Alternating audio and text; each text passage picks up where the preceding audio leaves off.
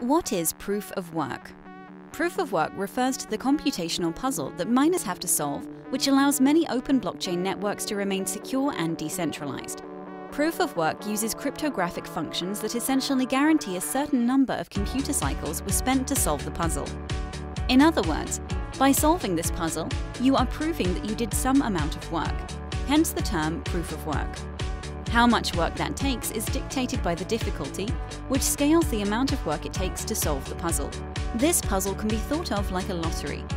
Every computer cycle that is used to try and find a solution is a lottery ticket, with the winning reward of issuing the next block and claiming a reward. Proof of work is the foundation of many open blockchain networks aligning economic incentives in order to build a system that serves everyone equally.